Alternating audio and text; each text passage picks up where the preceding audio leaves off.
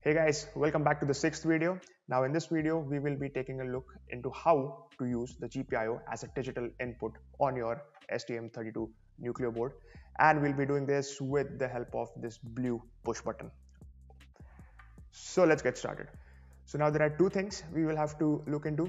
The things that are happening outside the microcontroller, which are on your Nucleo board. That is basically the circuit around the push button and the things that are happening inside the microcontroller.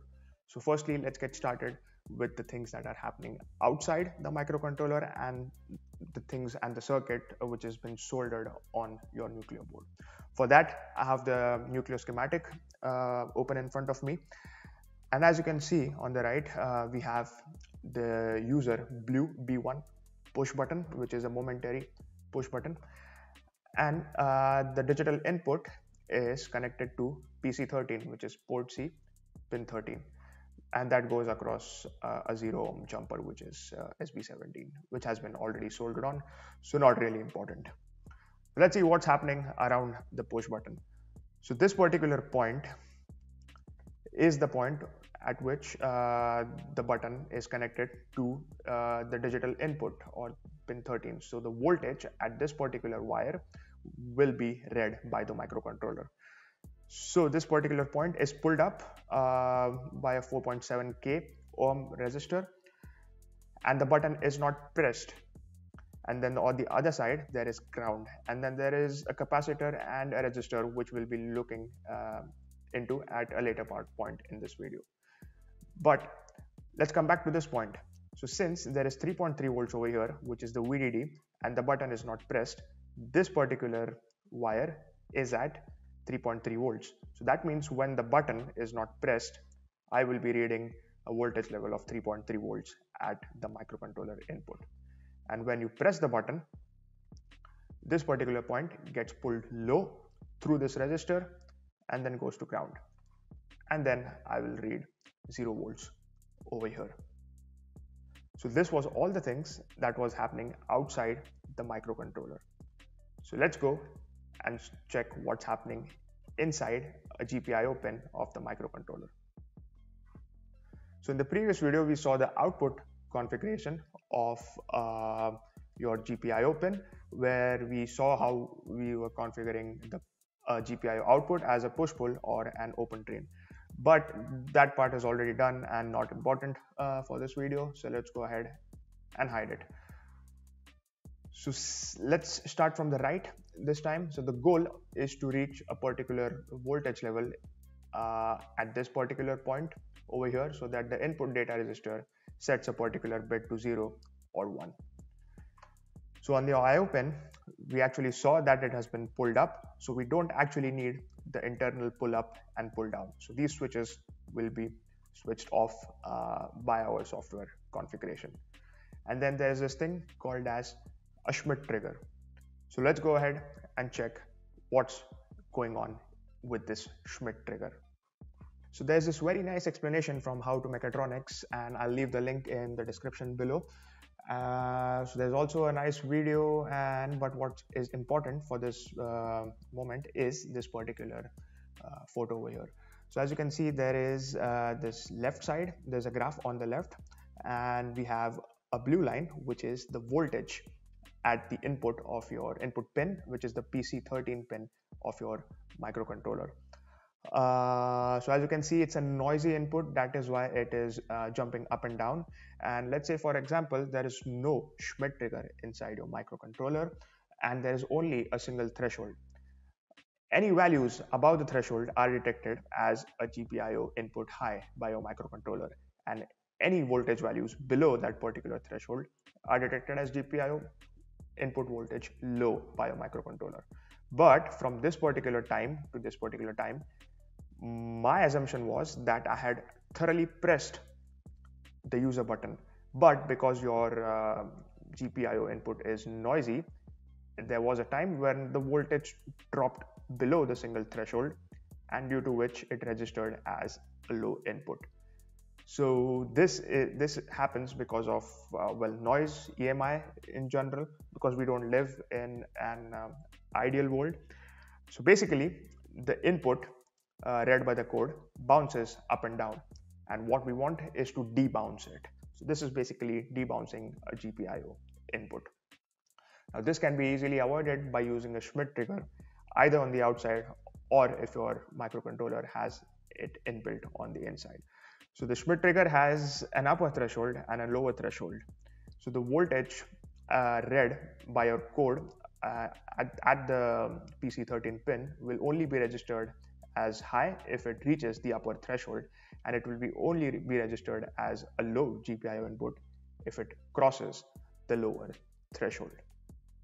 So that is about it from the Schmitt trigger point of explanation. So if we go back to our schematic, there was also an RC component to it. This RC component can be also looked upon as uh, a hardware way of uh, debouncing your uh, particular GPIO input. So this 100 nanofarad capacitor basically holds this particular uh, line, which is also the input to your microcontroller at a particular value for a very short period of time until you press the, the GPIO button and you leave it. This provides a sure shot way of debouncing a particular uh, GPIO input. That being said, let us start coding. Uh, so here we go. We are in the STM32Cube IDE and I've just created a basic project with the Nucleo 32 F303 RE board like we did in the previous videos. And as you can see, we are in the clock configurator tool with the PC13 which has been already configured for us. But let us go in system core and GPIO and there are two GPIO configured. So we already looked into the digital output in the previous video. Now let's select PC13 and check what they have configured it. So they have actually configured it as an external interrupt mode with falling edge trigger detection. But let us take things slowly and reconfigure it as only a GPIO input. So I'm just going to click on the PC13, uh, left click, and then go ahead and select GPIO input. And then come back to my GPIO configurator window and select input mode. No pull up and pull down as we have already pulled it up on the external. User label let's say b1 button that is about it. Let us hit the code generation button.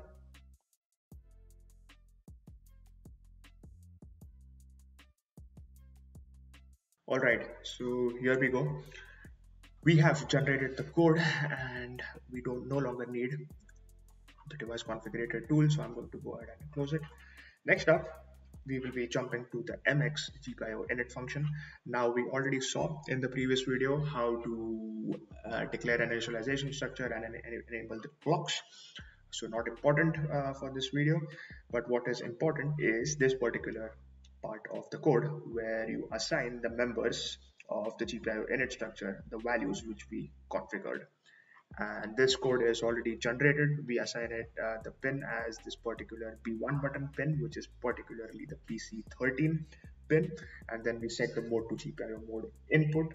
And then there is no pull up and pull down as we have externally pulled it up. And then we initialize it with the HAL GPIO function, HAL GPIO init function by passing uh, the GPIO init structure for that particular port.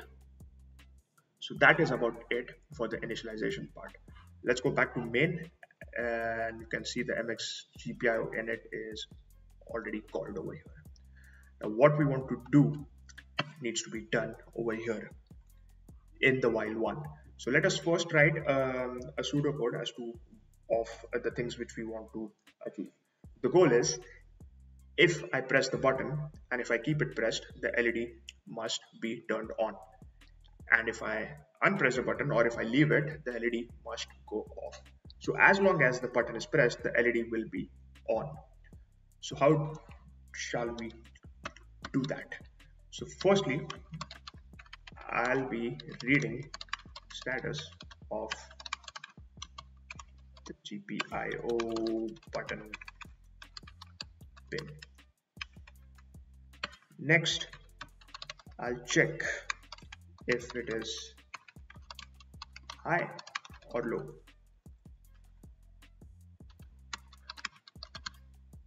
if uh, pressed turn LED on.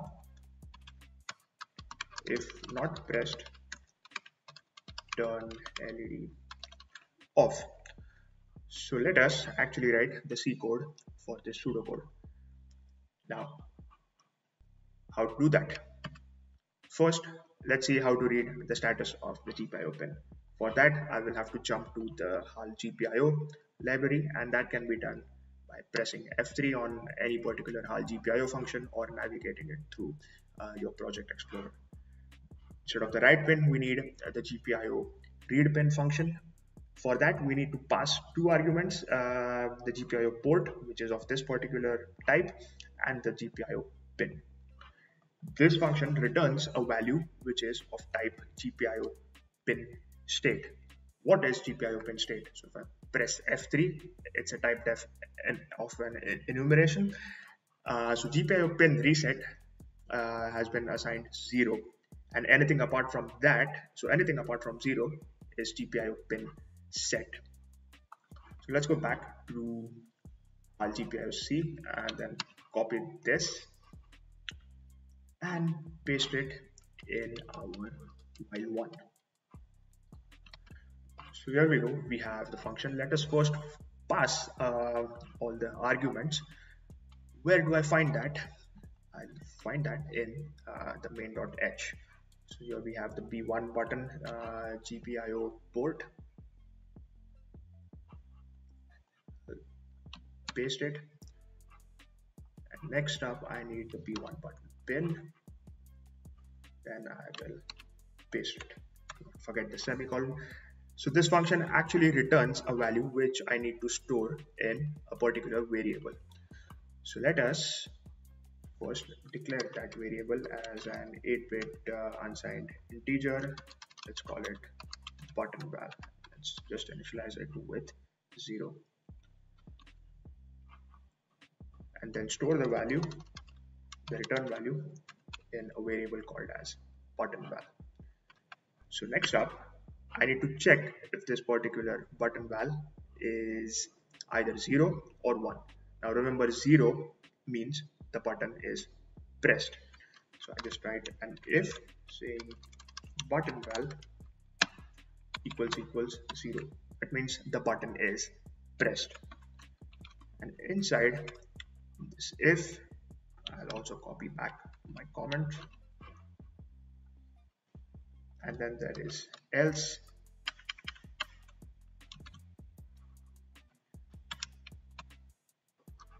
So how to turn the LED on? We do that with uh, the write pin function. Just copy this whole thing.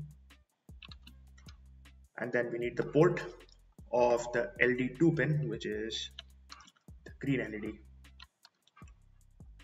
And then we need the LD2 pin, which is GPIO pin 5. And then we do a set so we turn it on and then the opposite over here so i'm just going to copy the same function but set it to reset so if button val equals uh, 0 which means the button is pressed I will turn on my LED now let us go ahead and compile this. Okay there we go. Zero errors and zero warnings. Now as you can see the green LED is not blinking uh, or not high. So let us go ahead and press the button and the green LED is on. And if I leave it it's off. On off Now this can also be done in a much better way. Uh, so we can actually call this whole function, which is the HAL GPIO read pin function inside this if and avoid using um, actual integer or integers or numbers inside uh, your if. So say for example, uh, you have written this uh, code where you actually want to invert uh, the values of all your GPIO uh, buttons or whatever switches or push buttons you have connected. That means you will have to change this particular zero in all the if statements you have written. So in order to avoid that, what you can do is define a particular macro. So if the button is pressed, I'll define it as zero. I can then replace this zero with pressed.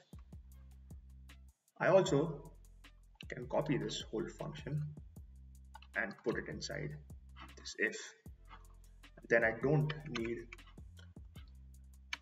to read the status and store it in a particular variable. So I also don't need this. So by checking inside the if, so whenever this if statement is called, it also calls this particular function and checks if it's equal to the value which is assigned or defined to pressed. This is another way of doing it. You can also uh, define a particular macro uh, for this particular uh, function call. So you can also do that quite easily. So let's just also do that and let's call it as define check button and then there goes the entire function call. Now I need to replace this Alright, so that's quite clean. So if check button equals equals pressed, which means the button has been pressed, turn the LED on, else turn it off. Let's go ahead and compile, and we did not make any errors. So well, uh, that was easy. Now there are several things you can do to play around with it. Right now the LED is only uh, on as long as we keep the button pressed. But what if I want to keep the LED on after only one press. So I press once, the LED stays on. If I press again and leave the button, the LED goes off. It's just a matter of coding, and if you know how to do that, it's a good exercise. But there are more things to it uh, than just reading the HAL GPIO read pin and then checking in an if else if the button has been pressed or not. Because if we look at our while loop, uh, the only thing the microcontroller is doing is, is checking a particular state of a particular GPIO. But generally, there are a lot of things running here after uh, your if and in the while let's say you are communicating with a particular module over UART or SPI or you are blinking more and more LEDs with the HAL delay function. So the HAL delay function actually uh, provides a blocking delay. That means if you actually go and open and check the HAL delay function, uh, there's a while uh, loop inside it and it just keeps on rotating, uh, executing nothing inside the while loop and checking for a particular delay timeout. What happens if your processor is actually inside a blocking delay and at that is the exact same time you press the GPIO button? Clearly it will miss the if statement because your processor is only doing one thing at a particular time. So the if statement on line 104 will be missed and then you're basically uh, the human interaction of the GPIO button uh, will be missed. So how to tackle that problem? It's a one word answer and it's a rather uh, straightforward approach, but it's a topic for some another video. Uh, so we'll be uh, taking a deeper look um, into that in the upcoming videos. But for this video, that's all. See you in the next one.